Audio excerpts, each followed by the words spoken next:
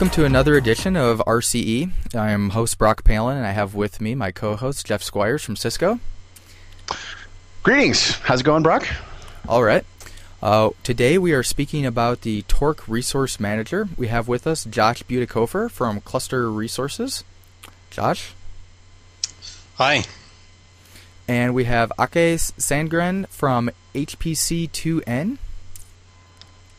Hi. So I, I, have to ask before we even start here. This is kind of a traditional thing in the podcast here. I'm I'm absolutely positive that we're pronouncing your name wrong there. Could you could you tell us how to pronounce your name properly? Åke Sandgren is the correct one. All right. Well, we'll try, but we are ugly Americans, so we'll, we'll probably get us wrong, and you'll have to forgive us for that. oh, yeah. Okay, guys. So um, first one of you give us a quick rundown exactly what Torque is for people who have maybe heard of it but not sure exactly what it does? Um, I guess I can uh, talk about that. Um, Torque, as you said, is a resource manager. So um, in the HPC industry, resource managers are uh, they're middleware, um, and they sit above the operating system. They allow jobs to be submitted uh, usually into some sort of queues or a batch system, and then those jobs are migrated out to compute hosts or compute nodes that are usually also running a daemon that's part of the resource manager. Those jobs are then executed. The daemon monitors the success of the job or its progress, and then when it completes or fails, it reports back to usually a head node, and then uh, you can use commands, or the users can use commands, or the scheduler can interface with the resource manager to find out um, the success of the job. The resource manager also is, of course, as the name implies, in charge of the resources. It monitors the nodes, their health, their status, um, resource usage, things like that. So Torque is one of many resource managers, um, and it is uh, based on the OpenPBS um, code base, which has been in use for uh, a decade or more now. So. Okay, I wonder if you could give us um, so you, so you mentioned Open PBS there. I wonder if you could give us a little bit of a history because there is a bit of a tangled history of, of where all these resource managers come from and who inherited code from what and what ideas, and then there was a, a bit of a split within this code base itself and whatnot. So could you give us the the, the history of Torque? Yeah, I'll do my best. Um, I won't go into all the details as I've heard them because it's quite lengthy and probably boring. But Torque, uh, as I mentioned, came from OpenPBS, and OpenPBS was uh, was uh, designed and created several years ago by by NASA, Ames Laboratory, and a few other organizations like Lawrence Livermore National Laboratory. Um, Veridian Software was also involved. They were a contractor that worked on the Open uh, OpenPBS source code, um, helping those organizations create OpenPBS and uh, Veridian Software was then acquired by Altair. Well, um, Altair has the commercial rights to distributing uh, OpenPBS, and therefore they have the PBS Pro product that is a commercial closed source version of you know the PBS or portable batch scheduler. Um, but Torque comes from OpenPBS, and that license on OpenPBS was uh, liberal enough that allowed um, uh, people to redistribute it essentially. So Torque came about because uh, over the years, several organizations, uh, lots of organizations, lots of users had a, uh, created patches against OpenPBS to make it more scalable, to fix problems, to uh, add new features, things like that. And there were so many patches out there that had really built up to, uh, you know, Dave Jackson, um, who I work with, said it was hundreds of patches. And so there were websites you could go to that would explain how to get OpenPBS up to the latest and greatest, but to a very convoluted directions, like go here and install these five patches, then uh, go and install this patch, but don't install this patch next unless you you know want to work out conflicts. So it was really really complicated. So Cluster Resources, or uh, probably SuperCluster.org at the time, um, started to gather all these patches together and apply them to OpenPBS, and we then started to release this product that uh, we eventually named Torque. Oh, so Torque is actually a free product right now. Like you can just go to the Cluster Resources website or SuperCluster and uh, actually download the uh, Torque and build it and use it without any licensing needs. Correct? That's right. It's open source, and there's uh, there's really no re- distribution um, limitations. So it's totally free as in beer and free as in uh, speech. Okay, but just to clarify, because I, I, do work for corporate overlords here, there are licensing restrictions. It's just that they're very liberal, right? That's so correct. Yeah, there there is a license on it. Yeah, um, it, they are very liberal. Mm-hmm. It's not public domain, in other words. Okay, and so you know, just to uh, you know, what what are some of the differences? So, if you both came from kind of a common code base, PBS Pro and Torque, what what are kind of the differences between them today, other than the fact that you know one is you know a paid commercial support model and whatnot? But are are there significant feature differences between the two? Um, between PBS Pro and Torque, you said. Yes. Yes, there are. Um, I'm not an expert on PBS Pro, uh, but from what I understand, as time has gone on, they, there are more and more features that have been put into PBS Pro that are not in Torque, and vice versa. For example, um, PBS Pro they have a they have a new way, way of managing resources called virtual nodes, and it allows you to have more flexibility in in controlling some of the resources. Um, they also have other features that uh, um, allow you to oh, what's the word? Allow you to better uh, yeah, I guess better define resources that are available, like generic resources. Kind of like, uh, I don't know, in Maui or Moab, which are schedulers that work with Torque and other resource managers, you have this concept of generic resources, which represent uh, entities that are not processes or memory that you can schedule against, and PBS Pro has support for that. Uh, Torque, uh, it has um, kind of diverged or has features that PBS Pro doesn't have in the sense that it has um, high availability features now. It has um, a lot of features that the community have asked for in, for example, having a similar generic resource feature set. Um, or also improving the scalability, changing the way the communication works, things like that. So, quick question then. Um, so, Torque itself does not come with a scheduler, and you always have to hook it up to an external scheduler, or does it actually come with a scheduler? No, it actually does come with a scheduler. Um, PBS underbar Sched is what we call it. Uh, it's a very simple scheduler. Um, by default, it's FIFO, and there are other uh, plugins that come with the Torque source code that you can use to alter the scheduling behavior. Do many people actually use that scheduler? Um, no. I think that some people do, but the vast majority of the people we interact with, and maybe we're biased because Cluster Resources has a scheduler product, most of the people we come in contact with do not use PBS Sched at all. Okay, so this is actually a great lead in. Could you give me a, a crystal clear distinction? Because I, I, this is something that is frequently lost on most users.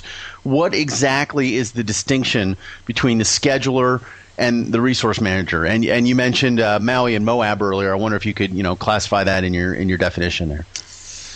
Yeah, so the, the resource manager, this is the way I was explaining to people. The resource manager are, the hands and the eyes, uh, and I guess you could say the feet of a cluster uh, for the software layer. So the resource manager, um, it like I said, it watches nodes. It it makes sure it understands the uh, availability of nodes. You know their status, are they up or they're down, their resource usage, things like that. It also will actually start the job and monitor the jobs. It will cancel the job, so it handles all those processes um, that are started or uh, required by either serial or parallel jobs. So it does all of the lower level work that requires it to interact directly with operating systems and environments to manage jobs and resources.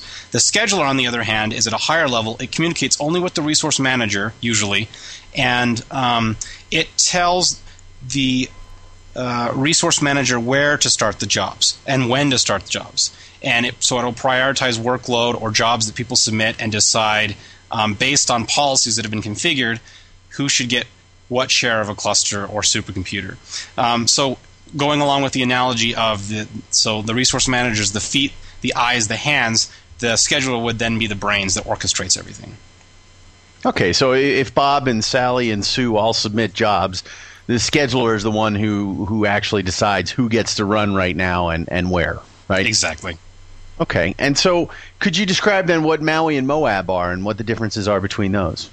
Yeah, so Maui and Moab are both uh, schedulers and policy policy engines. So when I uh, say that, I mean they they do more than just schedule. They also enforce a whole bunch of different policies to meet business goals or goals that you may have on your cluster.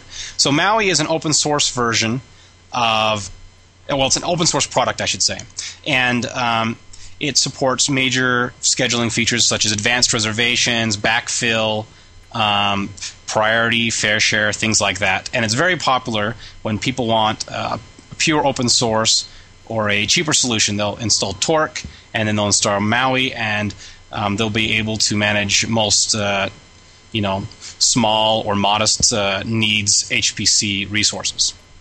Moab, on the other hand, is a commercial product that Cluster Resources sells, um, and it uh, is very similar to Maui um, at the beginning, but it is much more advanced than Maui. So it's closed source, and like I said, it is a commercial product, uh, and it has uh, the same features and capabilities of Maui, but it goes above and beyond that. Um, so it's a traditional HPC scheduler. It does also have those that policy engine that I mentioned earlier. Um, but it can also do grids, so that's uh, a cluster of clusters essentially. Um, it can also do a lot of data center and workflow uh, uh, management, so managing complex dependencies, things like that. So I won't go in, into all the details, but hopefully that's a good enough introduction into the two products I mentioned. No, that that was very good. Um, Ake, how do you guys use as an admin at a site? How do you guys personally use Torque at your site? Yeah, well, we'll, we have a bunch of clusters that we run Torque on. It's basically, as uh, Josh said, just for managing the resources. It's pretty straightforward. Uh, we have everything from, uh, at this time, fairly small 100 200 node clusters up to 600 node cluster. And uh, yeah, it, it's it's what you're saying. Um, it's just it's just used as, as, the resource manager. We also use Maui as the scheduler, of course. I find it fascinating that you uh, you say you know fairly small is uh, 100 to 200 nodes, whereas you know a couple yeah. years ago that would have been uh, holy criminy, that's a really large cluster. yeah, yeah. I, have been around for a while doing this, so yeah, yeah. It just it speaks to the state of the tools and, and the industry that uh, you know the, the, the state of the art has actually advanced into the well. It's pretty common to have 100, 200, 300 node clusters these days. Yeah. Sorry, just a little editorial oh, remark yeah. there. I assume this is also part of the work that's gone into Torque verse, you know, since it's diverged from OpenPBS, is making it work better on these larger systems. Yeah. Oh, yeah. Mm-hmm. Yeah, definitely. In the beginning, when we started in around 2002, it was fairly common that Torque crashed and, and jobs failed to start. But today, it's almost flawless in that respect. So, question for you guys: what what are your roles in the project? What do you guys both do in in the Torque project? Well, uh, for me, this is Josh. Um, I uh, I've I'm a I'm a principal developer here, a software engineer at Cluster Resources. So with Torque, I've actually been involved uh, throughout my tenure here at Cluster Resources. But in the last year and a half, I've taken a more active role of kind of overseeing the development. I, I do do some development Torque, so I'll, I'll fix bugs, add features. Um, and they're usually customer driven. So if we have a customer that has a particular need or bug, then I will, you know, help solve that problem in the source code. But we also have two full-time developers here at Cluster Resources and a and a handful of community developers that I kind of help oversee um, and and coordinate between to make sure uh, you know that the project's going well. So I guess my my role is more of a manager or overseer of the developers here at Cluster Resources. So, Josh, quick question. Cluster Resources, do they provide support contracts if somebody should want one for Torque? Yes, they do. Um, they do. Usually, so it's it's kind of odd. If you if you want a support contract for Torque, you essentially buy Moab because you get that free when buying when buying Moab. And if someone says, "Well, I don't want Moab. I just want to buy Torque support," we say, "Oh, well, it's the same price, so you might as well get Moab too." And a lot of people, not a lot, I should say, there's a handful of people that actually just pay for Maui and Torque support, um, and uh, you know don't even want to use for whatever reasons the our commercial products, Moab, and the, the other products we have. Okay, so jumping back just a second here. Uh, okay, I, I, don't think we heard your answer. What what is your role in the in the Torque project? Well, uh, officially nothing, but since I've been around for a while, I have uh, made a couple patches during the years, uh, mainly memory-related stuff. Uh, we will hopefully sometime uh, get down to to doing some of the Kerberos uh, pieces that are in progress. Okay, so you're a random open source developer that periodically yeah. does a feature that's useful to you. Yeah. Okay. That's the good open source way, right? yeah. Okay, so I wonder. Uh, here, here's another random question. What what are some of the more famous sites, uh, um, famous clusters, HPC installations, and whatnot that are using Torque? Um, well, the ones that I'm aware of, uh, there's there's tons, um, and we it's interesting because we're not even aware of everyone who's using Torque because it's open source and we don't uh, require people to register to download Torque, um, and it can be redistributed. Um, it's it's hard to pin down everyone who's using it, but we do know some of the more famous sites. Luckily, um, for example, uh, kind of the uh, pride and joy right now is Los Alamos National Laboratory. They have the fastest computer in the world, Roadrunner um, a petaflop machine, and it uses torque. Um, uh, I should say that they are getting torque to work on it, so they don't use it. Uh, they just barely uh, got control of the machine again, and so we're working with them to get torque running on it. But they but they have been using torque to launch a uh, subset of jobs. They haven't yet launched the job for the entire machine, but we're working on that with them. Gotcha. Yeah, that's a as an MPI developer, and I'm the Open MPI guy, and I'm involved with Roadrunner as well. I know that that is uh, a lot harder than it sounds. It sounds like yeah. oh, we'll just a million jobs. What's the problem? Well, it's actually pretty darn complex because it touches just about every aspect of the machine. Yeah, and, and, and we're getting there though. We're getting close. So, um, and and that's the plan for them to use Torque as a resource manager. Um, it's also worthy to mention, I think, Oak Ridge National Laboratory, uh, who has the second largest machine, and uh, they're they're running Torque on that as well. Um, we also have uh, people in all, you know, not just in HPC. We also have commercial people using Torque. So ExxonMobil, we have pharmaceutical companies. Uh, pretty much every major university has one or two clusters using Torque. Um, a lot of data centers, for example, Yahoo, they use Torque extensively internally. Um, both cool. yeah, via Hadoop on demand and also just using a traditional, you know, clusters and uh, data center setups they have there. And so that's an interesting trend, actually, that Torque is being used more and more uh, for data centers and um, not just for your traditional HPC cluster that you usually think of.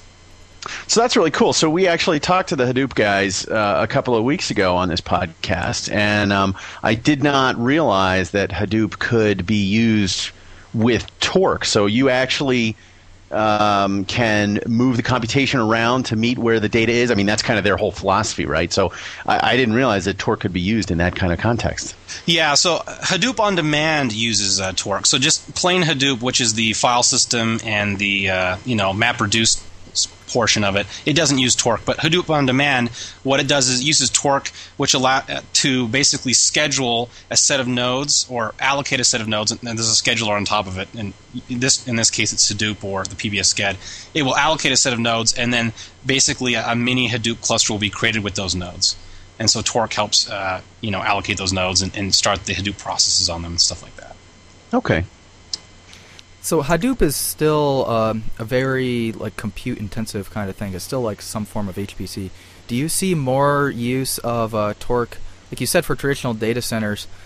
Are you seeing it used for anything very outside like the traditional compute?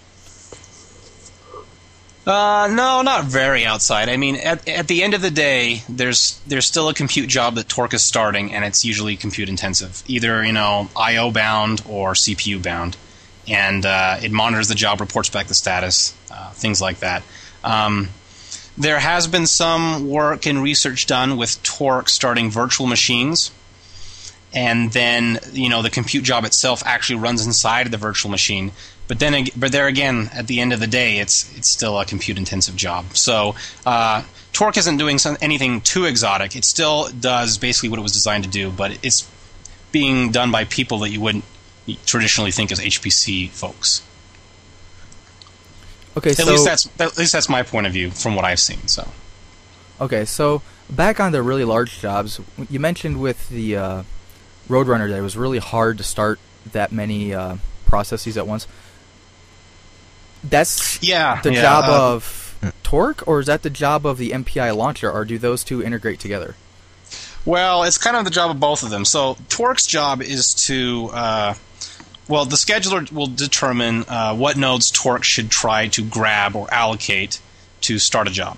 So Torque will go uh, receive instructions from the scheduler, and for example, in the example of Roadrunner, it will say get a list of uh, 2,880 nodes, uh, which is the largest job to date that we've started on Roadrunner, and um, Torque will then uh, go out and talk to all of the daemons running out on the compute nodes, uh, those 2,880 nodes, and um, we'll try to get them all to answer back to uh, the main compute node and say, okay, we're all ready to start. We're already we're all together. We're all in a group. And once that has happened, so we, we call that a join, where they all come together. Once that's happened, then the head compute node, which is called the mother superior, um, it starts the script that is submitted by the user, and it's usually Hold on in a second. I gotta, I gotta interrupt you here. You gotta explain the term mother superior there. Okay, yeah, I thought you were going to ask about that. So, Yeah. so um, the daemons that run out on the compute nodes are called PBS underbar mom, and mom stands for machine oriented uh, mini server. I don't know why that's called that, but that's traditionally what it's been called. So, um, somewhere along the line, someone decided to use uh, Catholic Catholic nunneries as the nomen- naming nomenclature for the different part PBS moms. So you have your mother superior, which is in charge of a uh, a group of sisters or a convent. And so, if you're the, the, the main compute nodes called the Mother Superior, and the other compute nodes in that group for that job are called sisters. And uh, I don't know what the historical reason for that is, but that's the way it is, and we just we continue to use that, uh, that nomenclature now. So. Okay.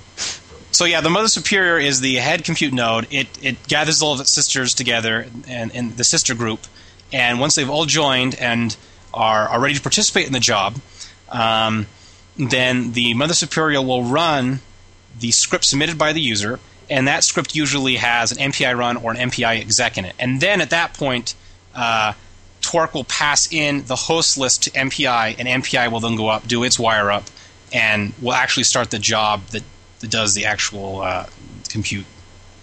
Interesting stuff. So it actually does the computation.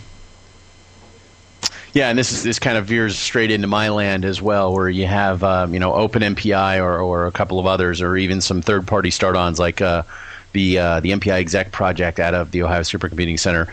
They actually use an AP a Torque API to start processes on the other nodes, as opposed to say RSH or SSH. So uh, things work. eh, for a variety of uninteresting reasons, they work a little better that way when you use the resource manager to start all the individual MPI processes rather than RSH SSH. Yeah, exactly. And that API is called the TM interface or the Task Manager interface. Um, and as uh, Jeff mentioned, OpenMPI has native support for that when you compile it correctly, if I understand right. And this MPI exec is a wrapper for many popular MPI tools that Ohio Supercomputing Center created. Um, it's a very valuable tool. So. Yeah, it's unfortunately named because MPI exec. Uh, that, that, that word is overloaded in, in several different cases. So you say, oh, we'll use MPI exec. Well, which MPI exec do you mean? Yeah, you always have to couple preface it. different- Yeah. Yeah. Well, actually, do you, do you know, Jeff, what came first? Was it OSC's MPI exec or MPI exec from the MPI industry? Uh, MPI exec from the MPI standard. That's why Ohio Supercomputing chose that name. I see. But then it becomes confusing because several MPI implementations, including OpenMPI, we include our own MPI exec, which is completely and wholly different than the Ohio State Supercomputing MPI exec wrapper for TM. A little bit of a little bit of MPI history there for you. Yeah. little little extra for you. So let me ask you this: uh, it's a, perhaps a little bit of a leading question here. Um, during this uh, whole startup dance here with MPI and TM and so on, um, the uh, the comparisons that as an MPI guy I hear sometimes are like, well, geez, you know, I can I can TM launch uh, /bin/true at uh, you know half a second across a, a, billion nodes, why does it take MPI so much longer to start up um, in doing that? So can I can I throw that leading question over to you? Do you know? it's because the MPI guys aren't as good as Torque. there you go. That's the perfect answer. Yeah. No, no, I'm just kidding. Um, well, it's got to do with uh, MPI is much more advanced in its uh, communication mesh, from what I understand. So I would assume that the wire up for MPI is uh, much more involved because once you have because you've got to get the wire up just right. Because after the wire up's done just right, the communication is going to be much much faster than it would be trying to do a linear communication. You know, using the the, the torque compute daemons, so the PBS moms. Um, right. Yeah. Also, I, I, didn't mean this as a quiz question. Yeah, but yeah, oh, no, yes, that's pretty right. Yeah. So that's that's my understanding, and and and also MPI has to you have to deal with network interfaces. You know, you have InfiniBand. You've got all kinds of things to worry about. It's a much more complex problem. Yeah, we we basically have to exchange all this metadata um, during. It's usually during MPI init, so that you know when you do an MPI send or whatever, we can open the queue pair, we can open the socket, we can open the shared memory, whatever you know is necessary. So there's a whole pile of additional information that has to be exchanged during MPI init after the process has already started, and just that volume of data just takes time to transmit across the network.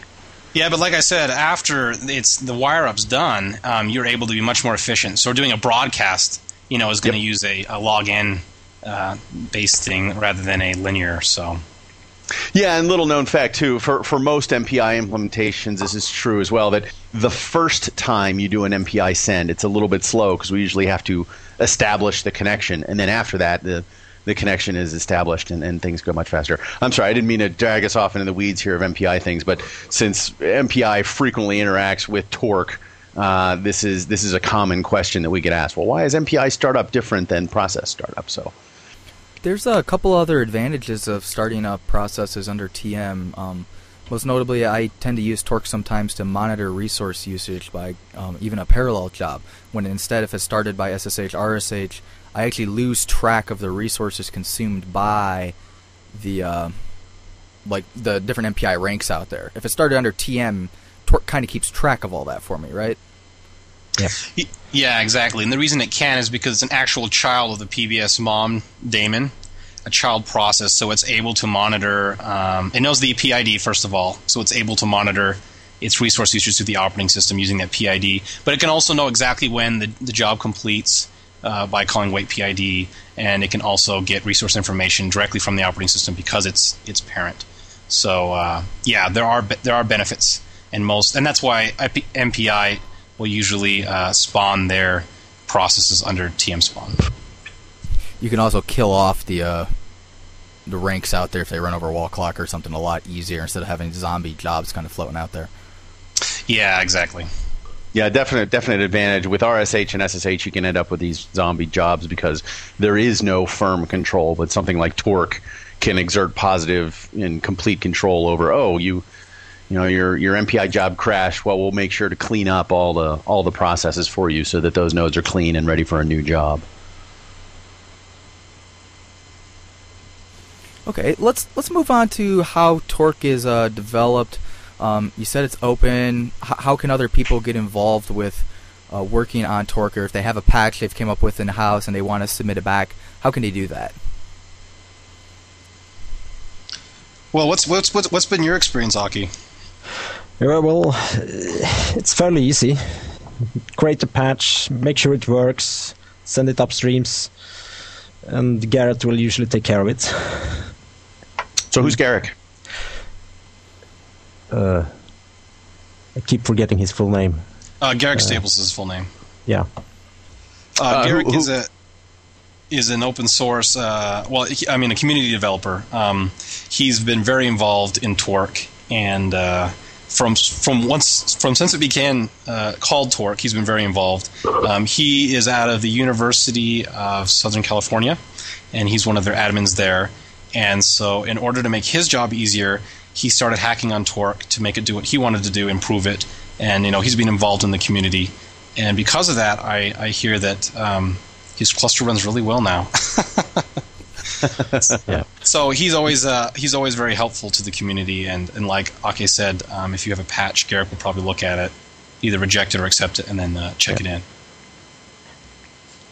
Okay, since I'm an open source developer myself, it's always very interesting to me to hear how other projects run. I mean, do you guys have? Is there kind of a a governance panel, or is it true, you know, distributed open source? Send an email, send a patch, and and that's it, or is there an upper level? You know, someone who sets roadmaps and what kind of features are going to go in in the future and things like that, or you know, how do you, how do you guys run yourselves? Well, it is. Uh, it's there's no governing panel. Um, Cluster Resources does sponsor Torque, so um, oftentimes we will gather together requirements either from our customers or from the community, and we will we, we try to present them to the community through the mailing list, um, which is the main uh, method of communication between us and the community and users and so forth. Um, and we, we try to come up with you know common goals that we all want to achieve, and then some people in the open source community or in the in the Torque community, I should say, will go out and develop some of those. CRI will tackle a few of them, and uh, we try to achieve those goals. So it's pretty loosey goosey. Um, there's no there's no real governance panel, no voting, no president, none, nothing like that yet. Um, we also have supercomputing and other conferences where we will meet face to face. We traditionally have a birds of a feather, a BOF at supercomputer supercomputing uh, conference here in the U.S., which uh, you we usually fill up an entire room of people interested in Torque that have comments or suggestions or just want to hear what's happening the next year. So. Um, as for getting patches submitted, you usually submit a patch to the mailing list, and one of the committers will pick up on it and uh, will evaluate it. Um, if it's good, it, you know there might be more discussion about it, more changes might need to be made. But if it's really good, um, usually will just be checked in to uh, either the stable branch if it's safe enough, or to the development branch. So. So uh, on the, on the community model there, what do you guys do for uh, both QA and for licensing? Like you, you mentioned specifically committers out there, which means that you must have a, a small set of designated super committer kinds of, of people. If they, uh, you know, you guys have done the licensing stuff all properly, and then how do you do the QA? Do you do you know distributed testing? Does everybody test it, or is it kind of a it works for me and it doesn't work or doesn't fail for other people, so that's good? Or what do, what do you guys do there? Um, well, uh, traditionally it's been more of a uh, distributed testing. So um, here's a patch, try it out. Some people will try it. They all report back it worked well, so then we'll check it in. Um, but we're trying to be more formalized in that now because more people are being involved, both CRI developers and community developers. Um, quality assurance is, of course, a big deal. So we will we will usually do uh, quote unquote beta testing. So we will announce we want to release a version of Torque, and we'll encourage people to download the latest snapshots to run it through their clusters. And a lot of people are actually pretty open to doing that and are willing to help out in these testing. Um, sometimes it's just out of the goodness of their heart or out of curiosity. Other times it's because we've embedded a carrot in Torque, such as a feature that they really want to try out. And so they will. Uh, um, try out the software, let us know how it goes. And we, we also have a couple at CRI, a couple friendly sites that are quite large um, that will that are willing to install early builds for us and you know help us get that scalability testing in there as well. Um, and the community, of course, does its own testing uh, for features that they think are important or for their own branches that they're working on. So uh, that's kind of how quality assurance goes. Uh, one one final question on community stuff. I, I always have to ask, what version control software are you guys using? Uh, right now, we're using Subversion. So you're able to anonymously check out, um, but of course check-ins are restricted right now to keep some sanity to the project. Um, yeah, we're using Subversion 1.3, I think. Okay, so community supported features and uh, other features. What are some of the features that have been added to Torque?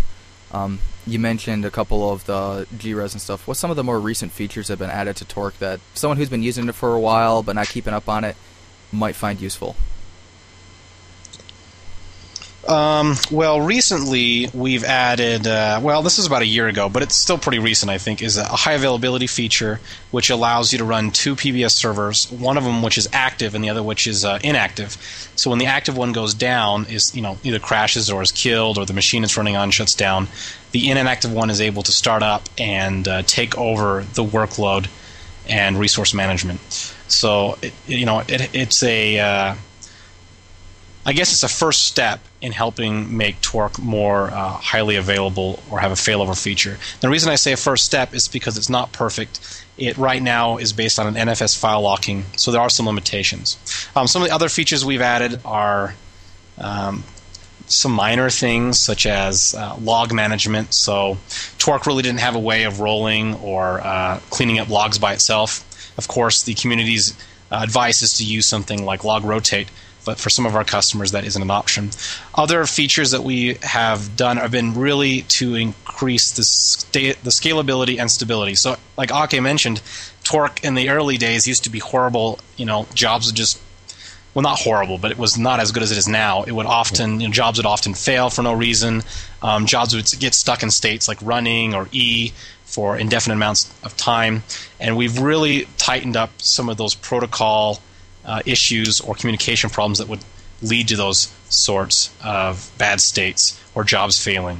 So um, we've really been trying to focus on that, just making it really tight uh, and work well. And the last thing, I guess, that we've really focused on over the last year is performance. So how many jobs it can start per second, um, how fast you can run commands, how fast you can submit jobs into Torque, things like that. One of the uh, features that came out recently that we've gotten actually a lot of mileage out, and I know it's not complete yet. I know Glenn still has quite a bit he wanted to do with it, but it was a job arrays that was added. Um, that's actually been very useful for a number of our users. Yeah, and I didn't mention it because Glenn always he's always you know he's he's really good. He wants to make sure that people know that it's still work in progress and not to bet your you know your farm on it. So yeah, well, it's working great. I mean, if Glenn's going to listen to this, I mean, uh, let him know that the thing's working great so far. So yeah, a lot of people use that, and, and that it, that's that's one of our uh, performance enhancing things. We're able to, you know, get a, a thousand to two thousand jobs in the queue very quickly, as opposed to waiting, you know, a few minutes. Uh, future features then. Uh, Ake, you mentioned Kerberos. What what exactly is the state with that? I'm not sure. The last thing I saw about it was more than half a year ago, I think. Uh, Josh. Um, well, yeah, CRI or cluster resources. Um, we haven't been directly. Our developers not been directly involved in the Kerberos mm. development. It's been more community driven. So yeah, it, yeah, I think the last thing I saw was somewhere about six months ago. But what, what's really needed here is for us AFS users to to get AFS tokens into the to the moms. Oh, this is an AFS question. Yes, I remember uh, yeah. struggling with AFS support many years ago when I was a graduate student at Notre Dame using OpenPBS. And there was a third party tool written by Dale Southard, and I'm forgetting the name of it, but he had it a way to um, securely pass the tokens in and out. Um, oh, what was the name of that tool? I don't remember. What what uh, what kind of approach are you guys going to take? Do you know? I'm not sure. I was intending to, to, to look into this last year, but other things got in between. Uh, but to do this safely, you really need to rewrite parts of the communication layer in in uh, Torque. So it's not that easy to, to do it in the current state. Okay. And so this is mainly an AFS issue, not necessarily just plain vanilla Kerberos. Well, if you get if you do it right, it will solve all the Kerberos related problems.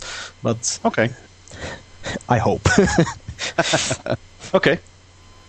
Yeah, so things so, like so, NFS v4 that use Kerberos, yeah. or like uh, Kerberized like um, WAN style Lustre systems or something like that, that are all saying they're going to be secured using Kerberos to be able to use those file systems easily. If the resource manager could pass tickets for the user, make things a lot simpler. Yeah, precisely. I do know that uh, there was, like Ake mentioned, there has been work on in the past in the community envir- uh, the community, and um, I'm trying to remember someone's name. I think MIT. Yeah, yeah Stockholm University is also involved. Yeah, there's there's a branch basically right now in Torque. I don't know how well it's being maintained. That is what was created to try to Kerberize Torque. So, yeah. Um, there has been work on it in the past. I don't know. Like I said, it's community driven, so I don't know how things are going right now. I haven't heard a lot of activity on it recently. So, but I know at one point it was possible to pass these tokens around in an AFS file system, and uh, that things were working at least with very crude initial tests. So. Okay, so so what else is uh, in the future? What what else is on tap for Torque? What makes Torque go to eleven? Um, well, uh, from a cluster resources perspective, um, we've gotten a lot of requests at Last Supercomputing to have better support for CPU sets. Um, and also uh, scheduling of cores. So actually, you know, supporting the core affinity features in Linux and other operating systems, and pinning jobs to cores, since uh, you know cores are uh, really big in clusters now. Um, so that's something that uh, some of the community is working on. Um, and also here in CRI, uh, we hope to get some uh, core pinning, core affinity, um, or or or, uh, or uh, processor affinity for that matter. Oh, um, great, because I, I have some very definite opinions about that as an MPI guy. Great. Yeah. Good to hear. So, um, also, we are really interested in scalability. So, as we mentioned earlier um, with Roadrunner, uh, it's been uh, you know learning experience getting Torque to scale up that large.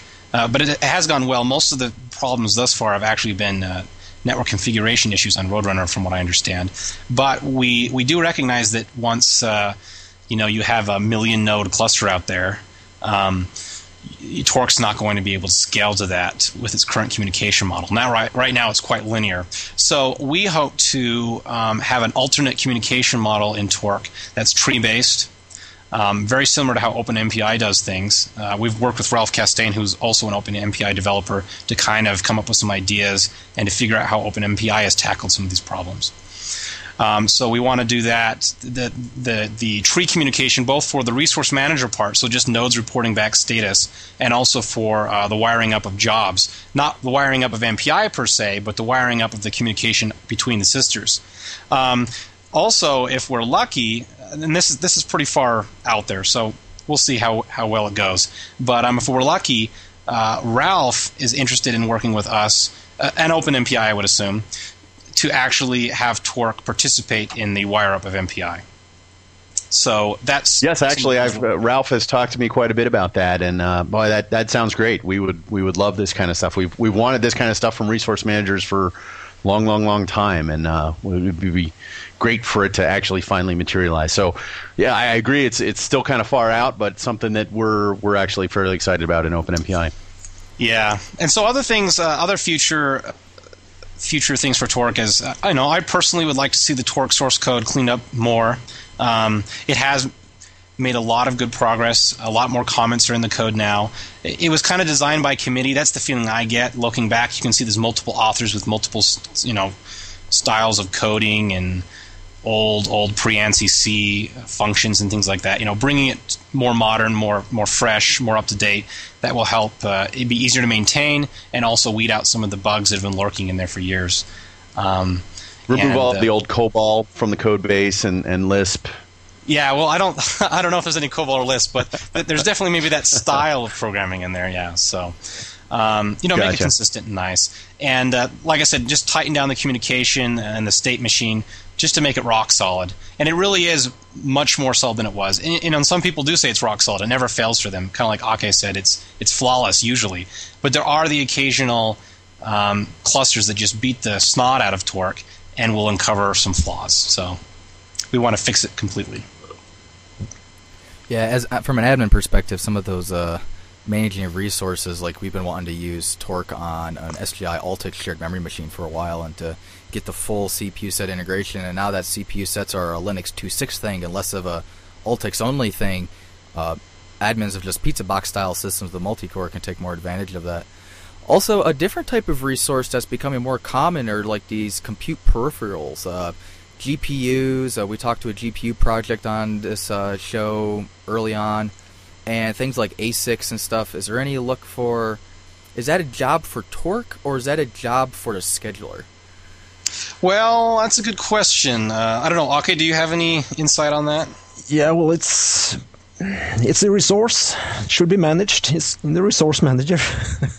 so depends on what you, what your point of view is, but uh, you need to to handle those resources, just like CPUs and memory. So Torque needs to handle it, I think. Yeah, I think I think this is a twofold thing here. I think that Torque doesn't need to be well. First of all, it's a scheduler. From a scheduler perspective, you can actually probably uh, schedule and manage these accessories just fine.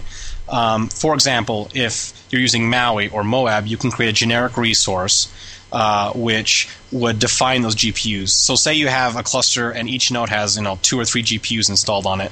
So each node has three GPU uh, generic resources or widgets that you can schedule. So when someone launches a job, they can request one of those GPUs.